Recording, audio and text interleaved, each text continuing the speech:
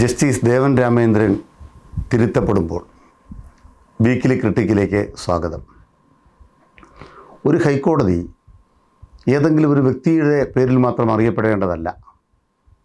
നിരവധി ജഡ്ജിമാർ ഒറ്റയ്ക്കും കൂട്ടായും നിരവധിയായ വിധിന്യായങ്ങൾ എഴുതിക്കൊണ്ടേയിരിക്കുന്ന ത്യാഗസമ്പന്നരായ അർപ്പണ മനോഭാവമുള്ള നിയമവ്യക്തതയുള്ള ധാരാളം ന്യായാധിപന്മാരെ കണ്ട ഇടമാണ് ബഹുമാനപ്പെട്ട കേരള ഹൈക്കോടതി.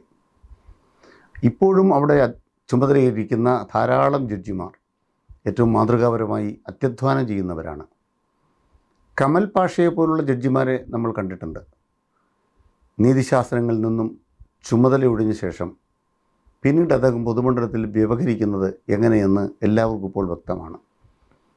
അസംബ്ലി തെരഞ്ഞെടുപ്പിൽ സ്ഥാനാർത്ഥിയാകണം എന്ന ആഗ്രഹപ്രകടനമടക്കം നീതിപീഠങ്ങളിൽ നിന്നും പുറത്തിറങ്ങുന്നവർ നടത്തിക്കൊണ്ടിരിക്കുന്ന ഇടപെടലുകൾ നമ്മുടെ നാട് സാക്ഷ്യം വഹിക്കുന്നുണ്ട്. ചില ആളുകൾ ഗവർണർമാരാകുന്നത് പ്രത്യേകിച്ചും അയോധ്യ കേസിൽ അതേപോലെ തന്നെ നോട്ട് നിരോധനത്തിന്റെ കേസിൽ മുത്തലാഖ് കേസിൽ ഒക്കെ വിധിപ്രസ്താവം നടത്തിയാൽ വളരെ വേഗം ഗവർണർ സ്ഥാനത്തേക്ക് ഉയർത്തപ്പെടുന്നതും രഞ്ജൻ ഗൊഗോയുടെ പിൻഗാമിയായി പല ആളുകൾക്കും ന്യായാസനങ്ങളിൽ നിന്നും നേരിട്ട് അധികാര കേന്ദ്രത്തിലേക്ക് ഇടം കിട്ടുന്നതും ഭാരതം കണ്ടുകൊണ്ടിരിക്കുകയാണ് ജസ്റ്റിസ് ദേവൻ രാമേന്ദ്രനെക്കുറിച്ച് മുമ്പ് ഒരു വീഡിയോ ഞാൻ ചെയ്തിരുന്നു. അതിൽ അദ്ദേഹത്തിന്റെ വിധികളെക്കുറിച്ചാണ് വിമർശനാത്മകമായി ചൂണ്ടിക്കാണിച്ചത്. ഒരു വിധിയെ വിമർശിക്കാൻ അവകാശമുണ്ട്. പക്ഷേ വ്യക്തിയെക്കുറിച്ച് പരാമർശിക്കേണ്ട കാര്യമില്ല. ജസ്റ്റിസ് ദേവൻ രാമേന്ദ്രനെക്കുറിച്ചുള്ള ഈ പരാമർശം ഏതെങ്കിലും തരത്തിലല്ല വ്യക്തിപരമായിട്ട് ഈ വീഡിയോയിൽ നമ്മൾ മുന്നോട്ട് വെക്കുന്നത്. അദ്ദേഹത്തിന്റെ വിധികളെക്കുറിച്ച് തന്നെയാണ്. ഏറ്റവും അവസാനം ബഹുമാനപ്പെട്ട കേരള ഹൈക്കോടതിയുടെ ഡിവിഷൻ ബെഞ്ച് അദ്ദേഹത്തിന്റെ ഒരു വിധി അസ്ഥിരപ്പെടുത്തിയിരിക്കുന്നു. അത് നമ്മുടെ നാട്ടിലെ മാധ്യമങ്ങൾ എത്രത്തോളം ആഘോഷിക്കുന്നുണ്ട് ജനങ്ങളുടെ ശ്രദ്ധയിൽപ്പെടുത്തുന്നുണ്ട് എന്ന് നാം കാണേണ്ടത് തന്നെയാണ്. കേരള സാങ്കേതിക സർവകലാശാലയിൽ ഒരു താൽക്കാലിക വിസിയുടെ ചുമതല സിസ തോമസിന് നൽകിയ ബഹുമാനപ്പെട്ട ചാൻസലർ കൂടിയായ കേരള ഗവർണറുടെ നടപടിയാണ് പ്രധാനപ്പെട്ട വിഷയം. ഇതുമായി ബന്ധപ്പെട്ട കേസ് സിംഗിൾ ബെഞ്ച് നിലയ്ക്ക് ജസ്റ്റിസ് ദേവരാമേന്ദ്രനാണ് കൈകാര്യം ചെയ്തത്. എന്തായിരുന്നു അദ്ദേഹം ആ കേസിലെടുത്ത നിലപാട്? ഒരു നിയമപരമായ സത്യസന്ധത ആ വിധിന്യായത്തിലുണ്ടായിരുന്നു ആ വിധിന്യായം പരിശോധിക്കുമ്പോൾ എന്താണ് മനസ്സിലാക്കാൻ കഴിയുന്നത്?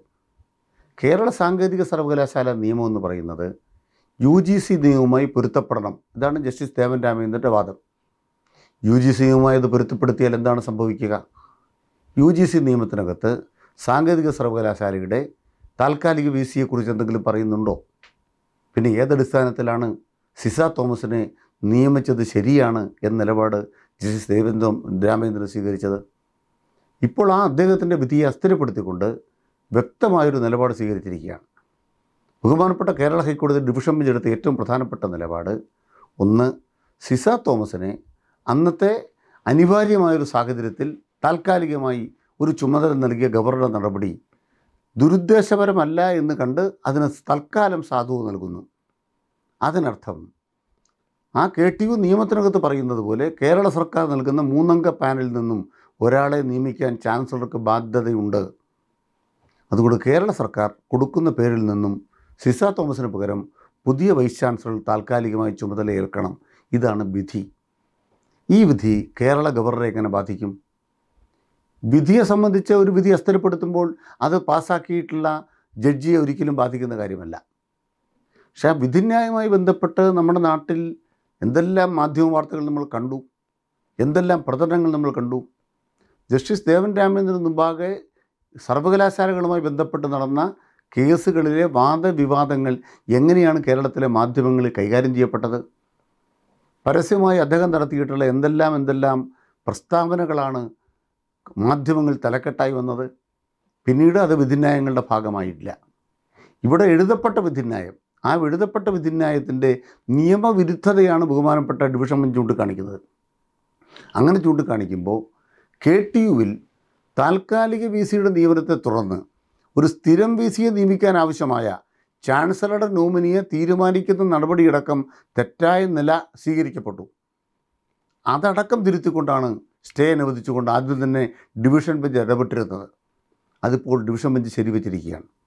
ഇപ്പോൾ സംഭവിക്കുന്ന കാര്യം എന്താണ്? ഒരു ചാൻസലർക്ക് ഒറ്റയ്ക്ക് ഒരു സർവകലാശാലയെ ഭരിക്കാനാവില്ല. അതാണ് ഡിവിഷൻ ബെഞ്ചിന്റെ വിധി. അതേസമയം ജസ്റ്റിസ് ദേവൻ രാമചന്ദ്രന്റെ വാദം എന്തായിരുന്നു? അദ്ദേഹത്തിന്റെ വിധിന്യായത്തിന്റെ സത്യം എന്തായിരുന്നു? കേരള സർക്കാരിന് ഒരു കാര്യവുമില്ല. കേരള സർക്കാരിന് ഇതിലൊരു കാര്യവുമില്ല. സർവകലാശാല ചാൻസലർമാർക്ക് പൂർണ അധികാരമുള്ള സംഗീതമാണ്. ചാൻസലർ എന്ത് തീരുമാനിക്കുന്നു? അതാണ് സർവകലാശാലകളിൽ നടക്കേണ്ടത്. ചാൻസലറുടെ അമിതാധികാരത്തിന് പിന്തുണ കൊടുക്കുന്ന വിധിന്യായങ്ങളെ തിരുത്താൻ ഡിവിഷൻ ബെഞ്ച് തയ്യാറാകുന്നു എന്നുള്ളത് വളരെ വളരെ സന്തോഷമുള്ള കാര്യമാണ്. അതുകൊണ്ട് കെ ടി യു വിധി സത്യത്തിൽ ആഘോഷിക്കപ്പെടേണ്ടതല്ല നിയമപരമായി ചർച്ച ചെയ്യപ്പെടേണ്ടതാണ്. കോടതികൾ വിധി പ്രസ്താവിക്കുമ്പോൾ കോടതികൾ അതിൽ കക്ഷി ചേരാൻ പാടില്ല അമിതോത്സാഹം കാണിക്കാൻ പാടില്ല എല്ലാ തരത്തിലും കോടതികൾ ന്യായത്തോടൊപ്പമാണ് നിൽക്കേണ്ടത്. നിയമവാഴ്ചയ്ക്കൊപ്പമാണ് നിൽക്കേണ്ടത്. ഡിവിഷൻ ബെഞ്ചിന്റെ വിധിന്യായത്തിലെ വിവിധങ്ങളായ കണ്ടെത്തലുകൾ തെളിയിക്കുന്നത് ജസ്റ്റിസ് ദേവൻ രാമേന്ദ്രൻ ഏതെല്ലാം തരത്തിൽ അദ്ദേഹത്തിന്റെ വിധിന്യായത്തിൽ പാളിപ്പോയി എന്ന് വ്യക്തമായി അടയാളപ്പെടുത്തുന്ന തരത്തിലാണ്. ജഡ്ജിമാർ അധികാര സ്ഥാനങ്ങളിലിരിക്കുമ്പോൾ നീതിശാസ്ത്രങ്ങളിലാണ് ഇരിക്കുന്നത്. അവർ മന്ത്രിമാരല്ല എക്സിക്യൂട്ടീവിന്റെ ഭാഗമല്ല. ഭരണം എങ്ങനെ നടത്തണം എന്ന് പറയാൻ ജഡ്ജിക്ക് അധികാരമില്ല. K S R T C എങ്ങനെ ഭരിക്കപ്പെടണം. എല്ലാ ദിവസവും പ്രസ്താവനകൾ വന്നുകൊണ്ടിരിക്കുകയാണ്. കെ എസ് ആർ ടി സിയെ അതിന്റെ മാനേജ്മെന്റിനെ സർക്കാരിനെ ആക്രമിക്കുകയാണ്. കെ എസ് ആർ ടി സിയുടെ ആസ്തി വിൽക്കാൻ പാടില്ലേ? ജഡ്ജി ചോദിക്കുകയാണ്. ഇന്ത്യ മുഴുവൻ വിറ്റുകൊണ്ടിരിക്കുകയാണ് നരേന്ദ്രമോദി ഇന്ത്യ മുഴുവൻ വിറ്റുകൊണ്ടിരിക്കുകയാണ് അതുപോലെ വിൽക്കണമെന്നാണോ കോടതി പറയുന്നത്? മാധ്യമങ്ങൾ കേട്ടത് എന്താണ്? കെ എസ് ആർ ടി സിയുടെ ആസ്തി വിൽക്കാൻ പാടില്ലേ? ഇതെന്നെ വിറ്റ് തിന്നുന്ന പരിപാടിയാണ്? അതാണോ ഉപദേശിക്കേണ്ടത്? എന്താണ് കെ എസ് ആർ ടി സിയുടെ പ്രശ്നം? കോവിഡ് പത്തൊമ്പത് വന്നപ്പോൾ നമ്മുടെ നാട്ടിലെ ആളുകൾ ആ യാത്ര ഉപേക്ഷിച്ചു. കോവിഡ് കാലത്ത് K S R T C അടഞ്ഞു കിടന്നു. കുറച്ച് കഴിഞ്ഞ് ഓടി വണ്ടി. ഓടി വണ്ടിയപ്പോഴും ആളില്ല. വണ്ടിയിൽ യാത്രക്കാരില്ല. വരുമാനം താഴെ കുറഞ്ഞു. ഏതെങ്കിലും സർക്കാരിന്റെ ഭാഗമായിട്ട് എന്തെങ്കിലും തെറ്റായ കാര്യമാണോ? ഈ സർക്കാരല്ലേ? പിണറായി സർക്കാരല്ലേ കെ എസ് ആർ ടി സിയിലെ മുഴുവൻ തൊഴിലാളികളുടെയും പെൻഷൻ ബാധ്യത ഏറ്റെടുത്തിരിക്കുന്നത്? കോടതി ഇത് കാണുന്നുണ്ടോ? എന്നിട്ട് ശമ്പളം എന്ന് പറഞ്ഞ് ഒന്നോ രണ്ടോ ആളുകൾ ഏതോ കേസ് കൊണ്ട് കൊടുത്തപ്പോൾ ആ കേസ് വെച്ചിട്ട് കേരള സർക്കാരിനെ ആക്രമിക്കാൻ അദ്ദേഹത്തിന്റെ ഒരു ഉത്തരവ് ബഹുമാനപ്പെട്ട ഡിവിഷൻ ബെഞ്ച് തിരുത്തിയതാണ് കെ എസ് ആർ ടി സിയുമായി ബന്ധപ്പെട്ട്. മതിയായിട്ടില്ല. ദിവസേന എന്നവണ്ണം മാധ്യമങ്ങൾക്ക് തലക്കെട്ടുണ്ടാക്കുന്ന വസ്തുതകൾക്ക് വിരുദ്ധമായ കാര്യങ്ങൾ വരികയാണ്. ഇപ്പോൾ പെൻഷൻ കൊടുക്കുന്നതുമായി ബന്ധപ്പെട്ടാണ് ചർച്ച. ഒരു സ്ഥാപനം നടത്തിക്കൊണ്ടു പോകുമ്പോൾ ഒരു പൊതുമേഖലാ സ്ഥാപനം നടത്തിക്കൊണ്ടു പോകുമ്പോൾ അത് നിലനിന്നുകൊണ്ട് മുന്നോട്ട് പോകണം. അടച്ചുപൂട്ടാൻ എളുപ്പമാണ് വിൽക്കാൻ എളുപ്പമാണ്. ഇന്ത്യ രാജ്യത്ത് പൊതുമേഖല ഇവിടെ വിറ്റുകൊണ്ടിരിക്കുകയാണ് റെയിൽവേ വിറ്റുകൊണ്ടിരിക്കുകയാണ് എയർ ഇന്ത്യ വിറ്റു വിമാനത്താവളം വിറ്റു. അതുപോലെ വിൽക്കണം എന്നാണോ കെ എസ് ആർ ടി സിയെ കുറിച്ച് ബഹുമാനപ്പെട്ട കോടതിയുടെ ഉപദേശം? എന്ത് ന്യായമാണ് ഇക്കാര്യത്തിലുള്ളത്? ഇവിടെയാണ് മാധ്യമങ്ങളുടെ ഇരട്ടത്താപ്പ്. ചില കുടികൾ കാണുമ്പോൾ ആ കുടികളോട് അലർജി തോന്നുന്നവർ ചില കുടികൾ അവിടെ കാണുമ്പോൾ കണ്ണടയ്ക്കുന്നത് മുമ്പ് നമ്മൾ ഈ ഈ വിഷയത്തിൽ ചർച്ച ചെയ്തിട്ടുള്ള കാര്യമാണ്. അതുകൊണ്ട് കോടതികൾ എടുക്കുന്ന നിലപാടിനെക്കുറിച്ച് പറയുമ്പോൾ നീതിപരമായി നിയമപരമായി നിയമം സംസാരിക്കുന്ന ഭാഷയിലാണ് കോടതികൾ വിധിന്യായങ്ങൾ പ്രസ്താവിക്കേണ്ടത്. വായിക്ക് തോന്നുന്നത് കോതയ്ക്ക് പാട്ട് എന്ന നിലയ്ക്ക് പിറ്റേ ദിവസം മാധ്യമങ്ങളിൽ എന്തെങ്കിലും വരട്ടെ എന്ന് കരുതി നമ്മളെന്തെങ്കിലും നിലപാട് സ്വീകരിക്കുന്നത് ഏതെങ്കിലും അധികാരസ്ഥാനത്തിരിക്കുന്നവർക്ക് എങ്ങനെയാണ് ഭൂഷണമാവുക എന്ന് അധികാരസ്ഥാനത്തിരിക്കുന്ന എല്ലാവരും ചിന്തിക്കേണ്ട കാര്യമാണ്. അതുകൊണ്ട് തന്നെയാണ് വിധിന്യായങ്ങൾ തിരുത്തപ്പെടുമ്പോൾ എന്താണോ വിധിന്യായങ്ങൾ പുറപ്പെടുവിച്ച കാലത്ത് അതുമായി ബന്ധപ്പെട്ട് നമ്മ അതിന്റെ വിചാരണകൾ നടന്നിരുന്ന കാലത്ത് മാധ്യമങ്ങൾ കൊടുത്തിരുന്നത് ആ പൊതുബോധ നിർമ്മിതിക്കെതിരായ വിധിന്യായമാണ് ബഹുമാനപ്പെട്ട ഹൈക്കോടതിയിൽ നിന്നും ഡിവിഷൻ ബെഞ്ചിൽ നിന്ന് വന്നിട്ടുള്ളത്. സാങ്കേതിക സർവകലാശാലയിൽ സിസ തോമസിനെ അനുകൂലിച്ചുകൊണ്ട് എത്രയോ വിധിന്യായങ്ങൾ എത്രയോ വാർത്തകൾ വന്നു. സിസ തോമസിനെ ആരാണ് കണ്ടെത്തിയത്? തിരുവനന്തപുരത്ത് താമസിക്കുന്നു തൊട്ടടുത്ത് താമസിക്കുന്ന ആളായതുകൊണ്ട് ജഡ്ജ് അവിടുത്തെ അവിടുത്തെ ബി സി ആയി തിരഞ്ഞെടുക്കപ്പെട്ടു എന്ന് പറഞ്ഞാൽ അതൊരു ജഡ്ജിക്ക് ബാധകമാകുമോ? എറണാകുളത്ത് ഒരാൾ ആയതുകൊണ്ട് ജഡ്ജിയാക്കി എന്ന് പറഞ്ഞാൽ അത് ബാധകമാകുമോ? ഏതെങ്കിലും സ്ഥലത്ത് താമസിക്കുന്നുള്ള ആളല്ല ഒരു സ്ഥാനം കൊടുക്കാൻ പ്രധാനപ്പെട്ട കാര്യം. ഇവിടെയാണ് സിസ തോമസിന്റെ കെ ടിയുമായി ബന്ധപ്പെട്ട കേസിലെ വിധി എന്ന് പറയുന്നത് വളരെ പ്രധാനപ്പെട്ട പ്രസക്തമായൊരു വിധിയായി തീരുന്നത് ഗവർണറെയും അദ്ദേഹത്തിന് പിന്തുണച്ച മാധ്യമങ്ങളുടെയും മുഖത്തടിക്കുന്ന ഒരു വിധിന്യായമാണ് ബഹുമാനപ്പെട്ട ഡിവിഷൻ ബെഞ്ചിന്റെ ഭാഗത്തുണ്ടായത്. ജസ്റ്റിസ് ദേവൻ രാമേന്ദ്രൻ അദ്ദേഹം കേരളത്തിലെ സർവകലാശാലകളുടെ കേസുകൾ കൈകാര്യം ചെയ്യുമ്പോൾ തന്നെയാണ് പെരിയ കേന്ദ്ര സർവകലാശാലയിൽ കാസർഗോഡ് അവിടുത്തെ വി സി നിയമനവുമായി ബന്ധപ്പെട്ട കേസ് അദ്ദേഹത്തിന്റെ ബെഞ്ചിൽ വന്നത്. പക്ഷേ കേരളത്തിലെ കേസുകൾ പോലെ അത് ആഘോഷിക്കപ്പെട്ടില്ല. സാധാരണഗതിയിൽ ജസ്റ്റിസ് ദേവൻ രാമേന്ദ്രൻ പ്രകടിപ്പിക്കുന്ന തരത്തിലുള്ള പത്രങ്ങളിൽ പിറ്റേ ദിവസം തലക്കെട്ട് പിടിച്ചു പറ്റാൻ പറ്റും തരത്തിലുള്ള വാക്ക വാക്കാലുള്ള പരാമർശങ്ങളൊന്നും ആ പെരിയ അല്ലെങ്കിൽ കേന്ദ്ര സർവകലാശാലയുമായി ബന്ധപ്പെട്ട ആ കേസ് കേൾക്കുമ്പോൾ ഉണ്ടായില്ല. ഇപ്പോൾ പുതിയ ജഡ്ജിമാർ അവിടെ ചുമതലയേറ്റപ്പോൾ ആ കേസ് മുന്നോട്ട് പോവുകയാണ്. പോകുമ്പോൾ എന്താ കണ്ടത്? കണ്ടത് ഏറ്റവും പ്രധാനപ്പെട്ട കാര്യം പെരിയ കേന്ദ്ര സർവകലാശാലയിൽ ആകെ ഉണ്ടായിരുന്ന അപേക്ഷകരിൽ നിന്നും പതിനാറ് പേരെ ക്വാളിഫൈ ചെയ്തു. കൊള്ളാവുന്നവരാന്ന് കണ്ടു. അതിൽ അഞ്ച് പേരുടെ പാനലാണ് സെർച്ച് കമ്മിറ്റി കൊടുത്തത്. ആ അഞ്ച് പേരുടെ പാനൽ കേന്ദ്രത്തിലെ മന്ത്രിയുടെ അടുത്തേക്ക് എത്തിയപ്പോൾ മന്ത്രിസഭ അല്ലെങ്കിൽ മന്ത്രി മന്ത്രി ഓഫീസ് അത് തിരിച്ചയച്ചു. അവസാനം യോഗ്യതാ പട്ടികയില്ലാത്ത ഒരാൾക്ക് ചാൻസലർ സ്ഥാ വൈസ് ചാൻസലർ സ്ഥാനം കൊടുത്തിരിക്കുന്നു. ഇതാണ് കേസ്. അപ്പോൾ എവിടെയാണ് തെറ്റുപറ്റുന്നത്? കേന്ദ്രത്തിലാണ് തെറ്റുപറ്റുന്നത്. കേന്ദ്ര സർവകലാശാലയാണ് തെറ്റുപറ്റുന്നത്. കേന്ദ്ര സർവകലാശാലയിൽ തെറ്റുപറ്റിയാൽ ജഡ്ജിമാർക്ക് ക്ഷോഭം വരണ്ടേ? ജഡ്ജിമാർ പ്രതികരിക്കണ്ടേ? ദേവൻ രാമേന്ദ്രനെ പോലെ പ്രതീക്ഷയോടുകൂടി മാധ്യമങ്ങൾ ഉറ്റുനോക്കുന്ന ജഡ്ജിമാർ അത്തരമൊരു കാര്യം വന്നപ്പോൾ വലിയ മീനിനെ കാണുമ്പോൾ കണ്ണടയ്ക്കുന്ന കുറ്റികളെ പോലെ കണ്ണടയ്ക്കുന്നവരായോ എന്ന സംശയമുണ്ടായി. അതിന് കാരണം എന്താണ്? നാം ഒന്നും കേട്ടില്ല. ഇത് ഒരു ഒരു അയോഗ്യതാ പട്ടികയില്ലാത്ത ഒരാളെ ആക്കി കേരളത്തിലായിരുന്നെങ്കിലോ? യോഗ്യതാ പട്ടികയില്ലാത്ത ഒരാളെ കേരളത്തിൽ സർവകലാശാല ബി സി ആക്കിയാൽ എന്തായിരിക്കും? മാധ്യമങ്ങൾ വാർത്ത വരിക. ജഡ്ജിമാർക്ക് എങ്ങനെയാണ് ക്ഷോഭമുണ്ടാവുക ഹൈക്കോടതിയുമായി ബന്ധപ്പെട്ട് മറ്റൊരു പ്രധാനപ്പെട്ട കാര്യം കൂടി വന്നു. മസാല ബോണ്ട്. കിബി എന്ന് പറയുന്നത് തെറ്റായി നടക്കുന്നൊരു സംവിധാനമാണെന്നും മസാല ബോണ്ട് വാങ്ങാൻ അനുവാദമില്ലെന്നും വിദേശ പണം സ്വീകരിക്കാൻ സംസ്ഥാന സർക്കാരിന് അധികാരമില്ലെന്നും സ്റ്റോക്ക് എക്സ്ചേഞ്ചിൽ പോയി മണിയടിച്ചത് ഡോക്ടർ തോമസ് ഐസക്കും മുഖ്യമന്ത്രി സഖാവ് പിണറായി വിജയനും തെറ്റായ കാര്യം ചെയ്തു എന്ന് പറഞ്ഞുകൊണ്ടാണ് ഇ ഡി കുറേ കാലമായി നടന്നുകൊണ്ടിരിക്കുന്നത്.